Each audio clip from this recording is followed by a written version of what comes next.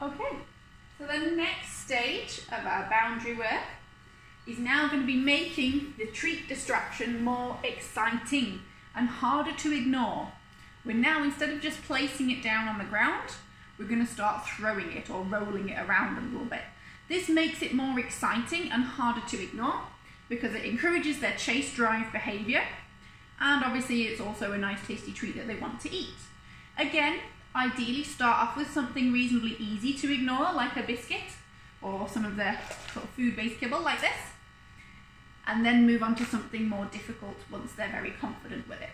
So we've rewarded Milly a couple of times on her mat now, so we're going to throw a treat away. She ignores it, she gets rewarded. We're going to throw another treat away. She ignores it, she gets rewarded. I'm going to throw a third treat away.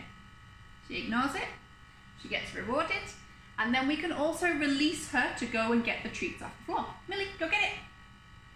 Go get it.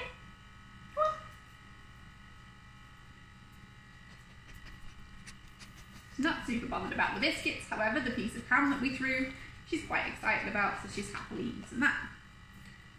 Then we wait for her to go back onto her mat again before we continue the exercise. Okay, and I'm going to pick up the biscuits she's not fussed about those. And we're going to continue the exercise using the hand. So she gets rewarded for being back on a mat. And we're then going to throw another treat away again. She wasn't looking, she'd lost the ham under her leg. Throw she ignores it, she gets rewarded. Okay, go get it.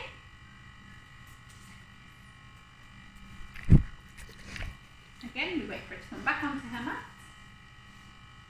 She's kicking across the floor slowly. And again, she gets rewarded. We've run out of treats. I'm just going to grab some more on the side.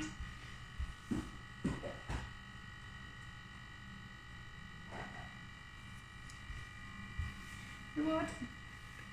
And again, I'm going to throw a treat away. And she ignores it. She gets rewarded. Throw another treat away. She ignores it.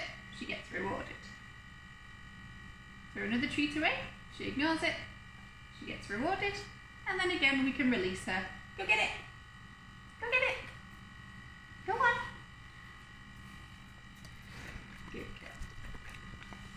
And then she can come back and settle back on her mat again and continue the exercise. Good. Notice I'm not giving Milly any instruction. I'm not telling her to leave the treats or anything like that. She's doing this of her own self-control. She's thinking about going, but she didn't. Good girl. Okay, go get it. Go get it.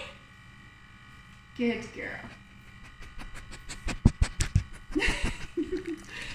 okay. Do the ones by your foot. There it go. Good girl. And then again, we wait for it to come back.